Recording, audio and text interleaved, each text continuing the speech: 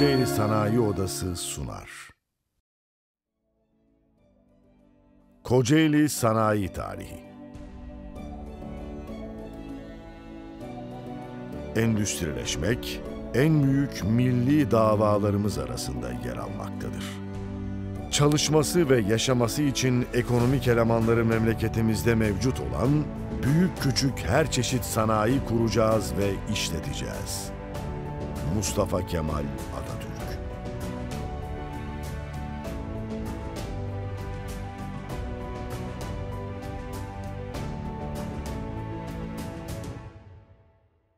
Atatürk'ün 16 Ocak 1923'te İzmit'te düzenlediği basın toplantısı çok önemlidir. Atatürk Cumhuriyeti ilan edeceğini Kocaeli'de açıklamıştır. Kocaeli, Cumhuriyet'in kalkınmasında çok önemli bir yer oynadığı gibi, Cumhuriyet'in 100. yılında da sanayi ve ticaret başta olmak üzere birçok gelişime ev sahipliği yapmaktadır.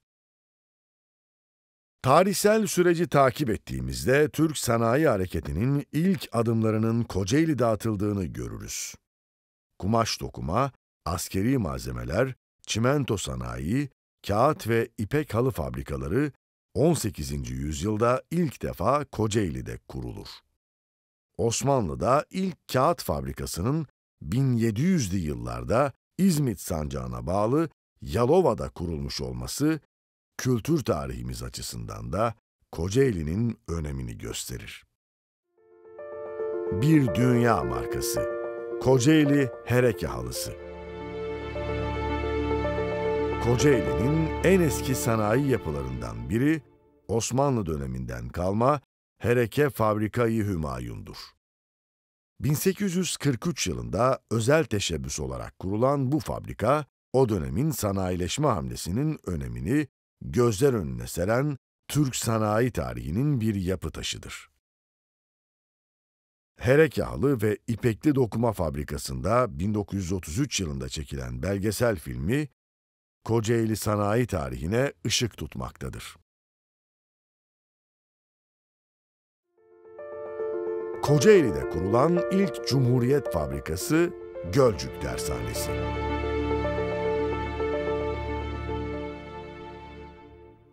Kocaeli'deki sanayi tarihinin izini sürerken Osmanlı'dan Cumhuriyet'e geldiğimizde Gölcük ilçesi dikkat çeker.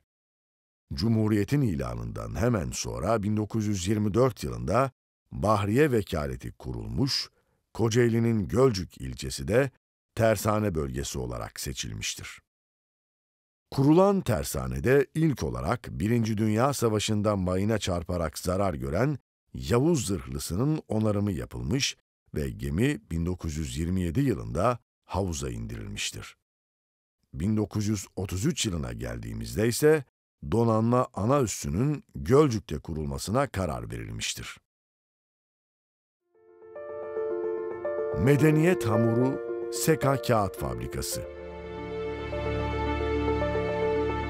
Gölcük'te bu gelişmeler yaşanırken karşı kıyıdaki İzmit, uzun zamandır kurulmak istenen kağıt fabrikası konusunda gelişmelere şahit olmaktadır. İzmit'teki sanayi kuruluşlarından ilki olan Seka Kağıt Fabrikası, Cumhuriyet'in ilk dönemlerinde İzmit'in olduğu kadar Türkiye'nin de ekonomik ve sosyal yaşamında büyük önem taşımıştır. Başvekil İsmet İnönü tarafından temelleri 14 Ağustos 1934 yılında atılan İzmit Kağıt ve Karton Fabrikası 1939 yılında tamamlanır. Atatürk'ün İzmit Kağıt Fabrikası'nda üretilen yerli kağıtta basılan 19 Mayıs 1936 tarihli Ulus Gazetesi'nin bayram ekini incelediğinde söylediği medeniyet hamuru sözü, İzmit Kağıt Fabrikası'nın bunca yıllık tarihinin adeta özetidir. Günümüzde İzmit Seka Kağıt Fabrikası müze ve bilim merkezi olarak hizmet vermektedir.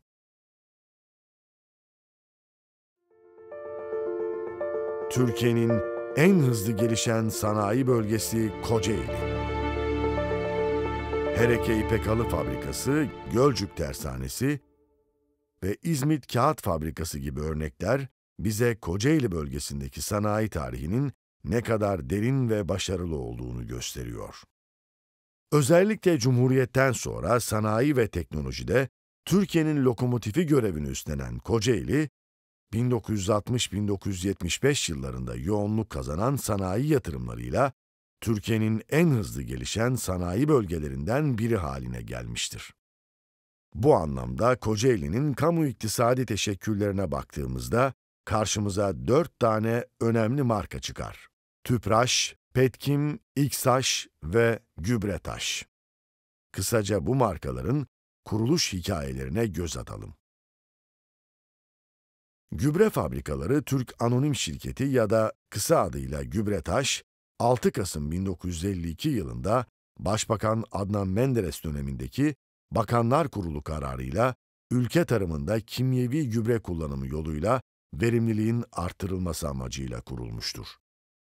1961 yılında Kocaeli Yarımca'da üretim kapasitesi yılda 100 bin ton olan ikinci fabrika faaliyete başlamıştır. 1993 yılında Ziraat Bankası'nda bulunan Gübretaş hisseleri Türkiye Tarım Kredi Kooperatifleri Merkez Birliği tarafından satın alınmıştır. Türkiye'nin ilk petrol rafinerisi olan Tüpraş, Batman rafinerisinin 1955 yılında devreye alınmasından 6 yıl sonra 1961 yılında ikinci rafineri olarak 1 milyon ton yıl kapasiteli İzmit rafinerisi devreye alınmıştır. İzmit rafinerisinin ham petrol işleme kapasitesi 1971 yılında 5,5 milyon ton bölü yıla, 1982 yılında ise 11,5 milyon ton bölü yıla yükseltilmiştir.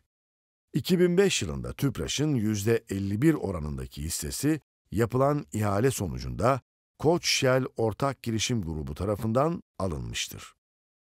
Petrokimya Holding Anonim Şirketi ya da kısa adıyla Petkim, 1962 yılında birinci 5 yıllık kalkınma planı sonucunda 3 Nisan 1965 yılında 250 milyon TL sermaye ile Türkiye Petrolleri Anonim Ortaklığı öncülüğünde kurulmuştur. Petkim ilk yatırım faaliyetlerine İzmir Yarımca'daki kavuçuk ve daha sonra da etilen, polietilen, kloralkali, VCM ve PVC tesislerinde başlamıştır. Kocaeli sanayi tarihi için çok önemli olan bu tesis şu an faal değildir. Türkiye gübre üretiminde ve ithalatında önemli bir role sahip olan İstanbul Gübre Sanayi AŞ ya da kısa adıyla İKSAŞ, 1971 yılında Kocaeli'nin Körfez ilçesinde bir kamu kuruluşu olarak kurulmuştur. 2004 yılında İKSAŞ, özelleştirme kapsamında Yıldızlar Yatırım Holding AŞ tarafından satın alınmıştır.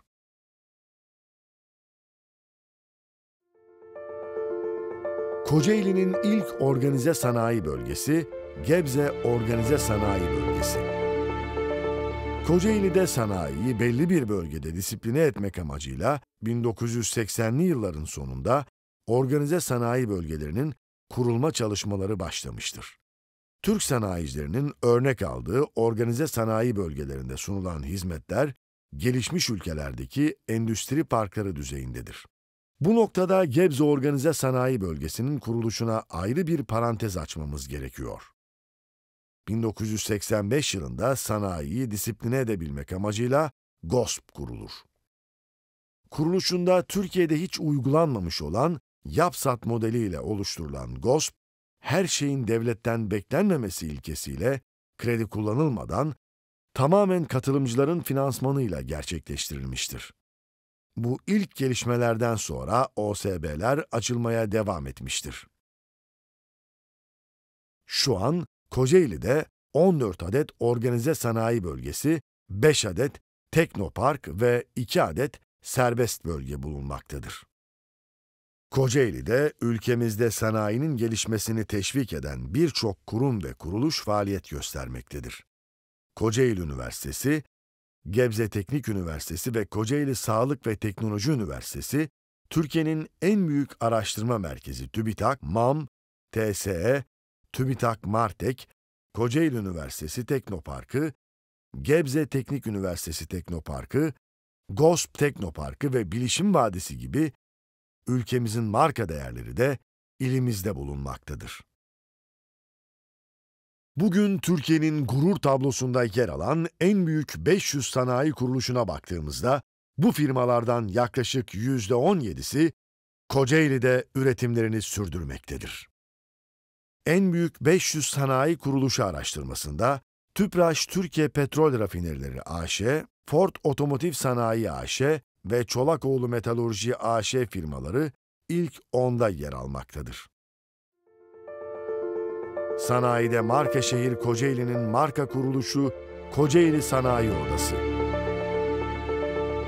Mesleki faaliyetlerin tek elden sürdürüldüğü dönemde kurulan İzmit Ticaret ve Sanayi Odası, daha sonra yeni yapılanmaya girmiş ve Haziran 1989 tarihinde Kocaeli Sanayi Odası kurulmuştur.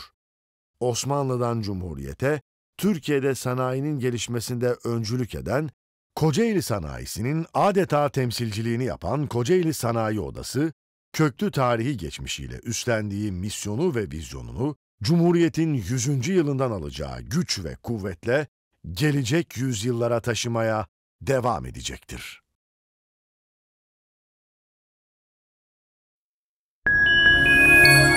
Kocaeli Sanayi Odası sundu.